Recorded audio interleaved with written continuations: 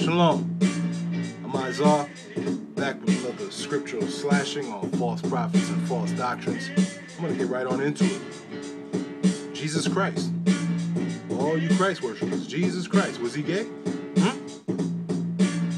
Let, us look into the Greek New Testament. That's what we're going to do. We're going to examine the Greek New Testament. First, let me read this. Shout out to Vernon and Joey, the bums of GMS. You know, shout out to them. That loser Bakwash. You know, that fool. All these One West false prophets. All these silly Negroes that taught you that America will be destroyed in the year 2000. Bunch of dummies. All a bunch of fools. Oh man. Anyway, Proverbs 13 and 18. Poverty and shame shall be to him that refuseth instruction like this silly Christ worship. Alright? Christ Jesus. CJ the mediator. Yeah, alright.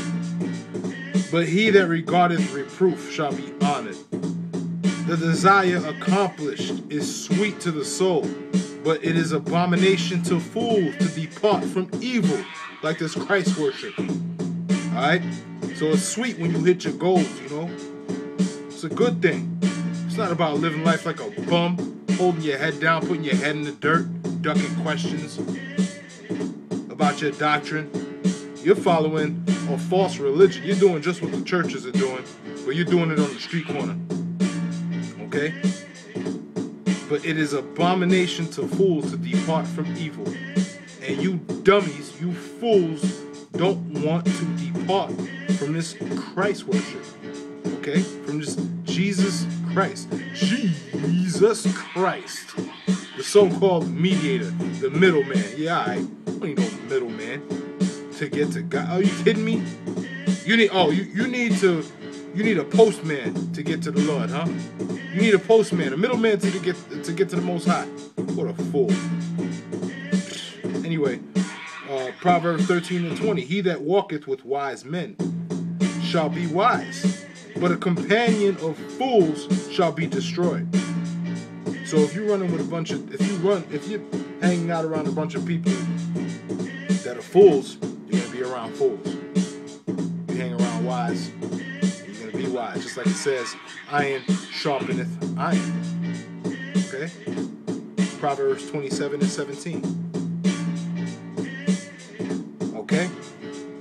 Verse 21 Evil pursueth sinners but to the righteous good shall be repaid.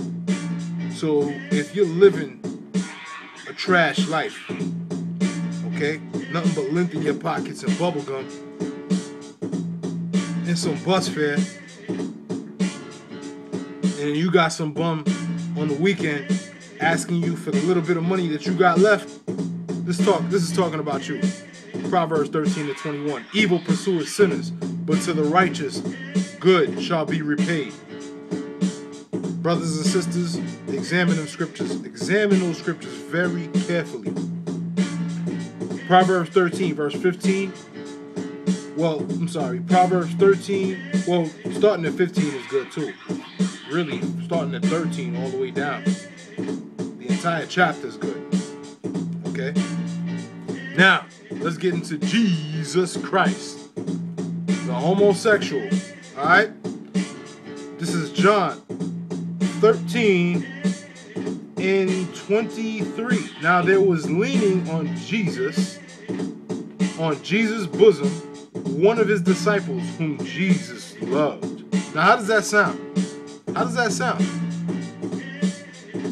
Nobody's leaning. That that's not. It's not for a man to lean on another man's bosom.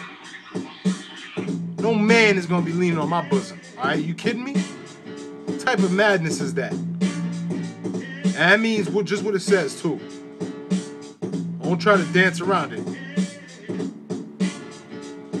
This is Micah 7 and 5. Trust ye not in a friend, put ye not confidence in a guide, trust no one. Damn sure don't trust these Y2K false prophets.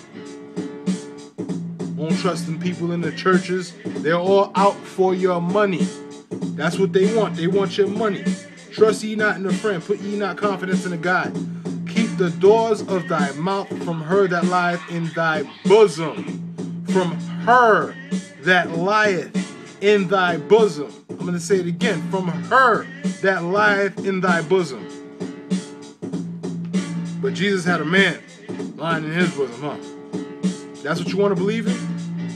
That's in the Greek New Testament about your about you fools, Lord and Savior, Jesus Christ.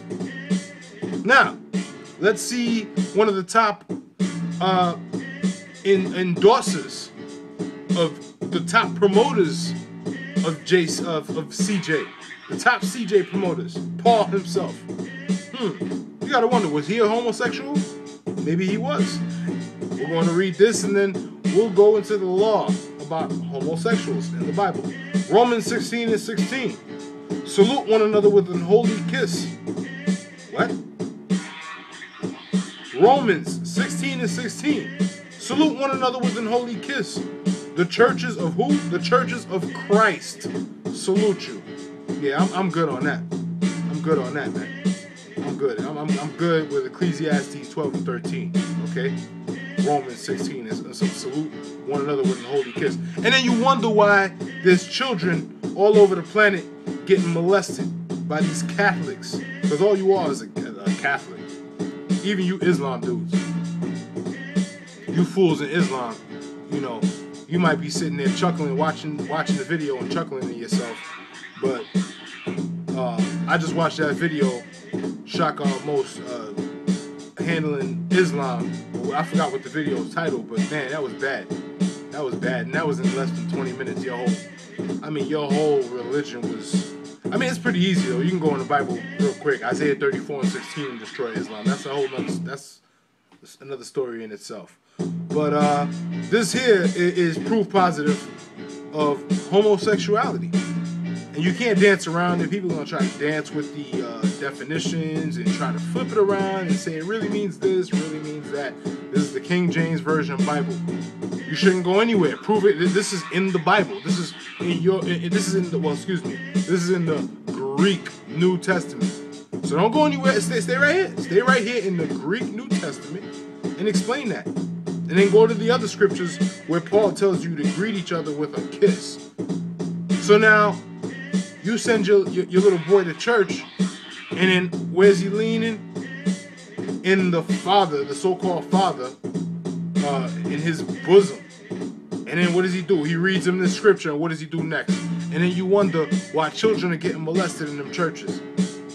Okay, now let's go to the law. Let's go to the law on homosexuality in the Bible. This is Leviticus 18 and 22. Thou shalt not lie with mankind as with womankind. It is abomination. So no, it is none of this business about lying in, somebody's bosom. None of this business about that. Lying in uh, bosom. That's unlawful. That's not godly. Talk about some lying in the bosom. And uh, let's go to the penalty for you want for lying in the bosom. This is Leviticus 20 and 13. If a man also lie with mankind as he lieth with a woman, both of them are eight. Both of them. That, that includes Jesus Christ, okay? Both of them have committed an abomination. They shall surely be put to death. Their blood shall be upon them. Okay, now listen. God doesn't like that uh, madness that they're talking about in the Greek, in the freak, Greek, Greek freak New Testament. That madness. Trying to push that on brothers and sisters. Like we don't have enough uh, hell that we're catching. Last one's hired, first one's fired. Poverty. You know? All types of hell. And then you put that Greek freakness on them. Talking about lie in the bosom.